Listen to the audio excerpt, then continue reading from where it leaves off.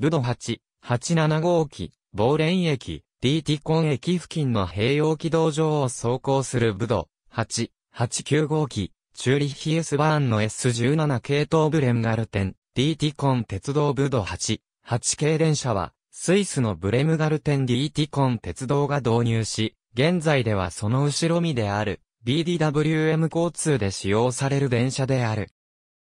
ブレンガルテン D ティコン鉄道では、従来チェニ、2型やチェ4、4型などの路面電車系電車や1928年、1932年製のブド4、4型といった電車が客車を牽引する形態の列車が運行されていたが、この近代化を図るために1960年代に様々な検討がなされたが、結果として固定編成による列車により、効率的なパターンダイヤを組むこととなり、3車体連接式の旧編成の電車を1967年に発注したものが、本形式である武道8、8K であり、車体と機械部分を SWS、電気部分、主電動機を、ムホが製造を担当している。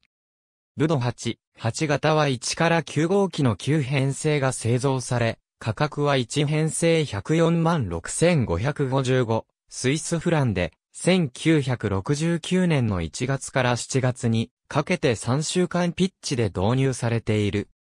各機体の基盤と製造年、機体名は以下の通りミューチュシェルン峠を越えるブド8、87号機ボーレン駅に留置中のブド8、8系。ありがとうございます。